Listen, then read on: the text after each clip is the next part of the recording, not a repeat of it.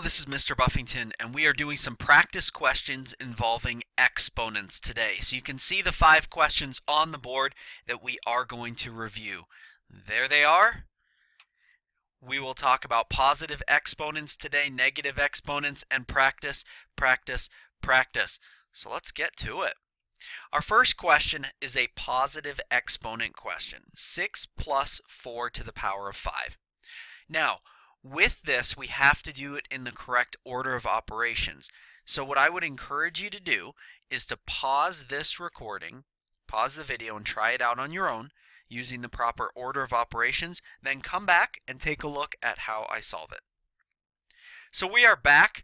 The first step is to solve the exponent, which is 4 to the power of 5.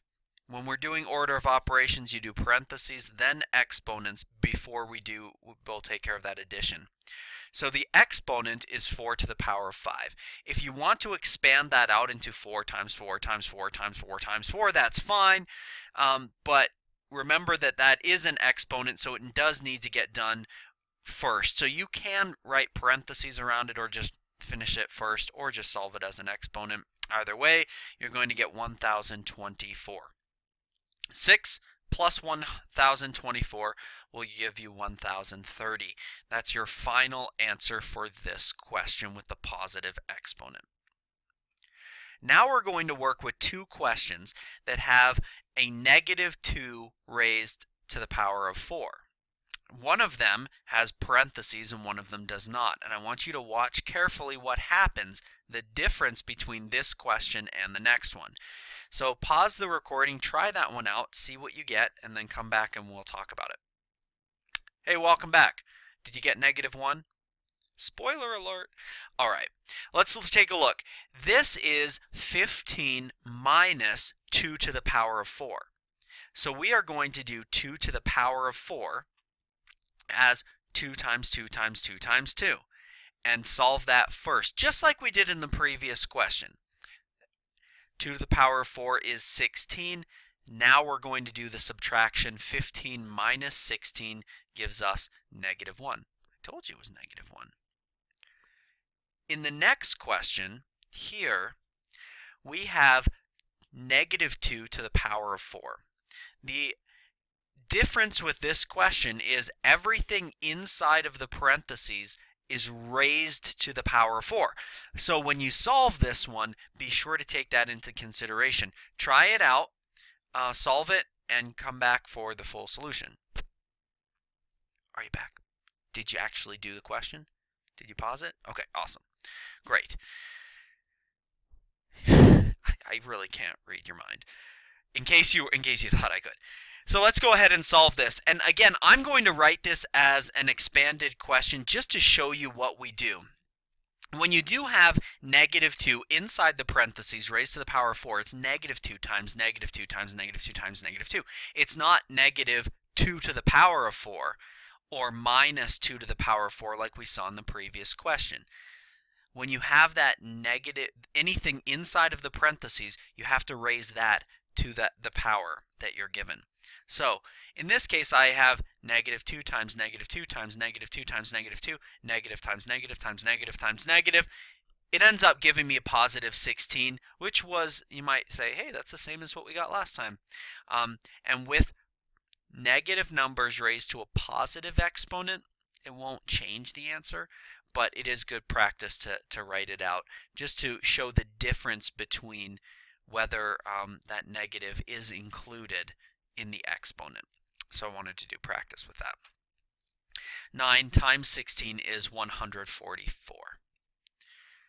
Now we're going to switch gears a little bit and talk about negative exponents. Negative exponents basically take that number and everything that's included in it, everything that's raised to that power. So if there's parentheses, everything that's in that power gets switched whether it's in the denominator or numerator. So if it's like this, we would move it down to the denominator and then the exponent becomes positive. If it was in the denominator as a negative exponent, it would get moved to the numerator. So that's what a negative exponent does. It just moves the location of that number. And the base and the exponent move to wherever it's going. Numerator would move down to the denominator, as you see in this case, and we have a 1 as a place filler. If it was in the denominator, it would move up. Now we just do 7 to the power of 3, which is 7 times 7 times 7, and that gives you 343. And that's how we would solve that one. Now, our final question that we are going to look at today might look a little intimidating, so I want you to take a deep breath before we look at it. Let's get into this. This one here, not only is it intimidating because it's a bright green color, it also has a lot going on. So just like the previous question, we do have a negative exponent. We've also got some things that need to be simplified. So first off, I'm going to go inside the parentheses. That's what you do with, with order of operation questions. You simplify whatever's inside the parentheses. So in this case, I have a square root inside the parentheses and I have multiplication. I have 4 times the square root of 9. Fortunately, uh, we are going to simplify the square root of 9 down to being 3 because we're just going to use the positive numbers for this. So it now becomes 4 times 3, which is 12. Okay, we have now simplified this expression. What was inside the parentheses, we've simplified it down as far as it can go. So now it comes time to figure out what is connected to the exponent. Because remember, that negative 2 exponent is going to put something into a denominator. And this is why everything that we've done up to this point kind of comes together at this point. The 12 is inside the parentheses. That is being raised to the power of negative 2. It is 6 times 12 to the power of negative 2. 12 to the power of negative 2 is its own entity. So that is going to go into the denominator. 12 to the power of negative 2 becomes 12 to the power of positive 2 when it's moved down to the denominator. The 6 remains up top by itself like that. So that is how this would look. All right. And now we just simplify. Um, 12 to the power of 2, that's 12 times 12. That gives me 144. And there is a common factor of 6 in this fraction, so I can simplify it down to 100, oh, 100, oh my goodness, learn to read, 1 over 24, or 1 24th. That is what this simplifies down to.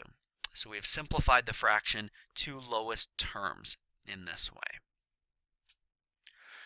We talked about positive exponents. We talked about negative exponents. We did some practice, practice, practice. I hope that that video was helpful for you. This was just sample questions using positive and negative exponents. Here's some other videos that I hope you will find helpful. If they are helpful for you, go ahead and like, share, and subscribe. Thank you so much. Have a wonderful day.